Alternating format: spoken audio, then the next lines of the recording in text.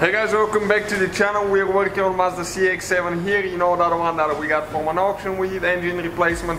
Today guys, we'll show you how to remove the rear seat. It's a little bit tricky, but nothing to worry about. But uh, we'll show you how to do it and how to install it after that.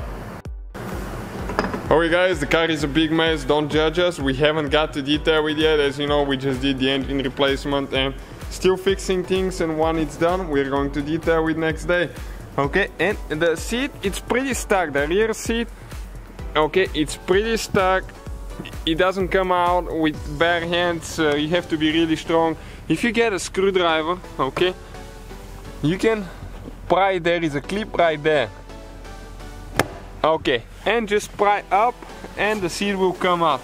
And there is one right there as well. Okay, and some of them are tight. Believe me. I mean, if it's never been removed, you can even help it a little bit. Okay, you can see it's still stuck. Okay, came loose. So all you have to do now, just pick the front up, slide towards the front, and the seat comes out, guys. Just like that. We're gonna take it out to detail it. It'll be much better to clean it outside than inside, so we can get to everything here. All the little you know, spots that you cannot get to. And when you're ready to install it, you just get it in an angle. Let us show you how to do it. You need to make sure you have the seat belts up. Okay, and after that, you need to get it in an angle. Okay, like that, to go there. And you need to make sure, okay, that's where it locks. Let me show you, in those.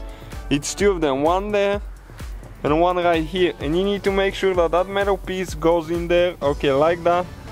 And you just pretty much jump on it until it locks and this one is still not locked all the way on my side. So we'll need to press this one down okay? Okay like that. So that will be guys the whole procedure for removing rear seat. Thank you guys for watching. Please subscribe and see you next time